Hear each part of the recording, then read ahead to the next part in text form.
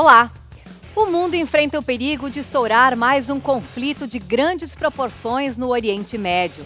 Uma difícil solução política para a guerra civil na Síria, com o risco de se espalhar para outros países da região, é o que a Organização das Nações Unidas tenta construir. Desde a última quarta-feira, uma conferência de paz em Genebra, na Suíça, procura, por meio da negociação, alcançar esse objetivo. De um lado do debate, a oposição síria pressiona pela saída do presidente Bashar al-Assad do poder, para um eventual governo de transição. Mas o regime descarta essa possibilidade. Por trás desse conflito, uma batalha de interesses de potências como os Estados Unidos, Rússia, Irã e monarquias do Golfo Pérsico, do Pérsico, que também fazem parte deste momento de debate. De acordo com o secretário-geral da ONU, Ban Ki-moon, na abertura da conferência, essa é a hora de as partes envolvidas no conflito mostrarem unidade. Cerca de 40 países participam da mesa de debates, incluindo o Brasil, assim como representantes do governo sírio e da oposição. O ministro das Relações Exteriores da Rússia, Sergei Lavrov, afirmou que as discussões são difíceis. Para o secretário de Estado americano John Kerry, certamente não será possível que Bashar al-Assad faça parte de um governo de transição. A Síria vive uma guerra civil entre as forças do governo e rebeldes desde 2011. Segundo a ONU, o conflito já deixou mais de 130 mil mortos. E para analisar este momento atual da crise na Síria, nós convidamos aqui no estúdio Fabiano Mionichuk, que é doutor em Relações Internacionais e professor da Uniriter.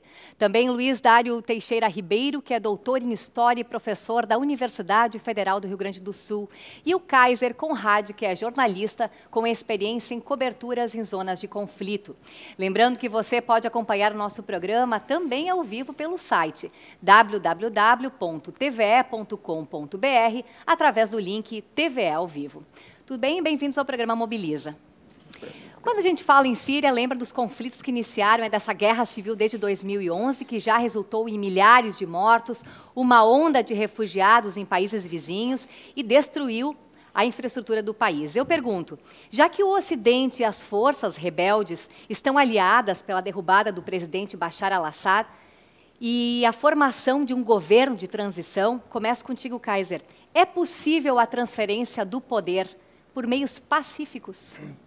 Não acredito nesse momento que vá, ter essa transferência do poder por causa que a oposição, a oposição acredita que o regime de Bashar al-Assad, eu, eu contesto essa palavra regime, né, tenha que sair do governo para então iniciar conversações.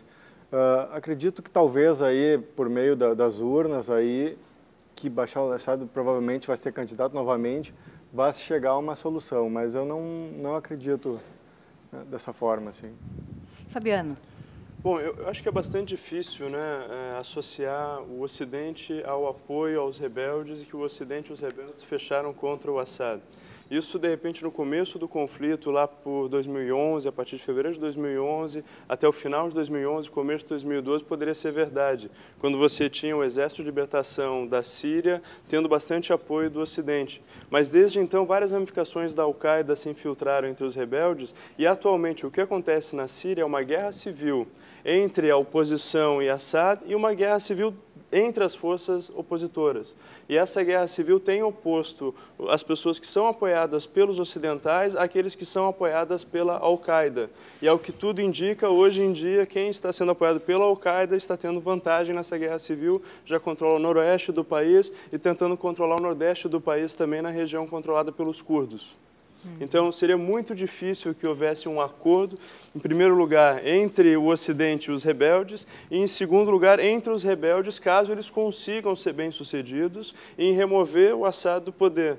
O que é mais provável é que haja um governo de transição com participação do Assad e, como, como falou o Kaiser, eu acredito que é possível, inclusive, que o Assad continue no poder, porque atualmente é mais conveniente para o Ocidente que o Assad continue houve uma mudança bastante radical em termos da visão ocidental sobre o conflito. Claro que com o papel preponderante da Rússia em direcionar o Ocidente para esse lado, mas acho que é algo que a gente vai conversar hum. é, daqui a pouco. Por que seria, professor Dario, melhor manter o presidente atual?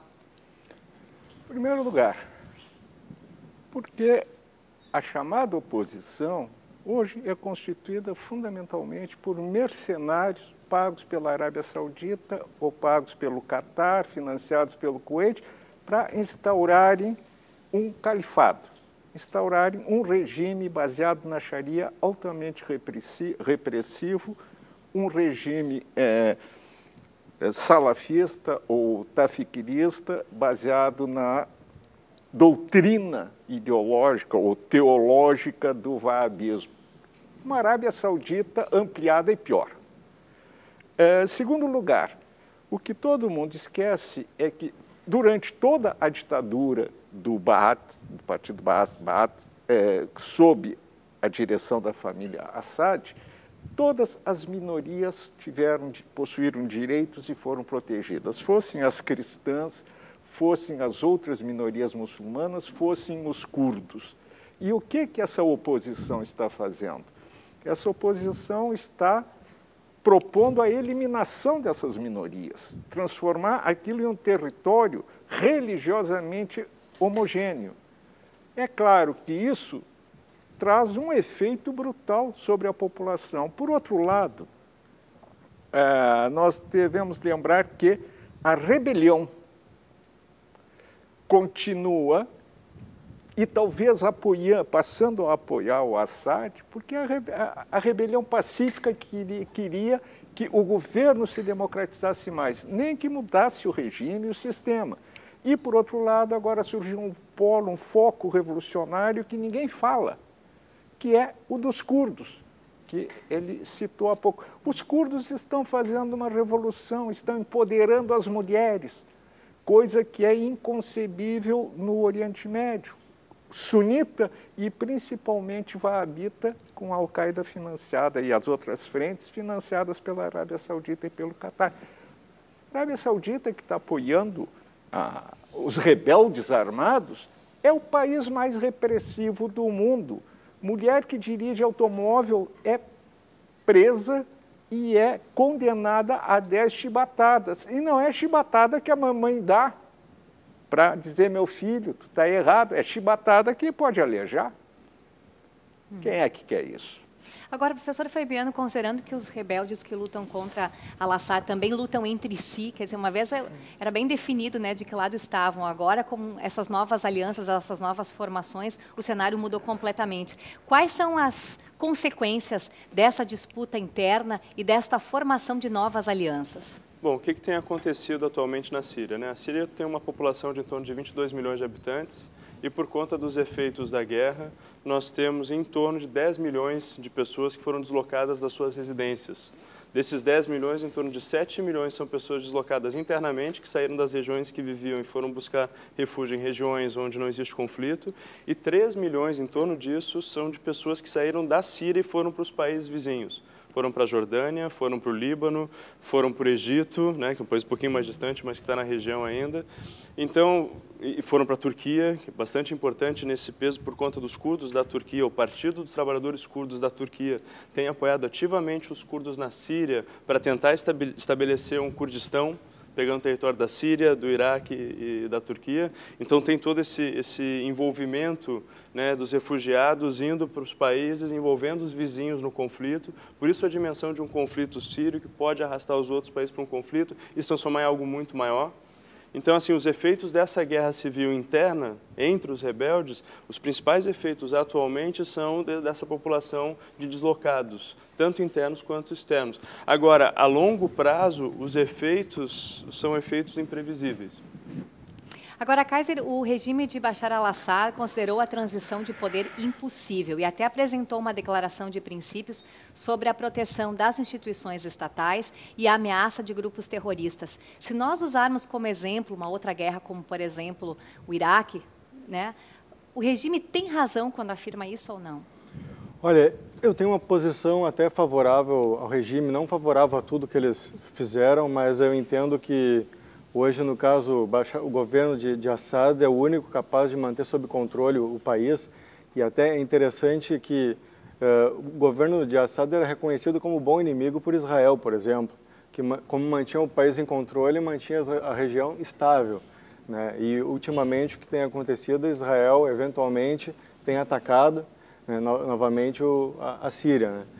Então, eu, eu, entendo aí que o, governo Assad, ele é, ele é muito importante aí para manter né, o status quo né, e as instituições governamentais aí do, do país, né, e também vendo o que está acontecendo por parte dessa oposição que nada mais é como o professor chamou de fundamentalista, né, o Assad aí, ele, ele é muito importante.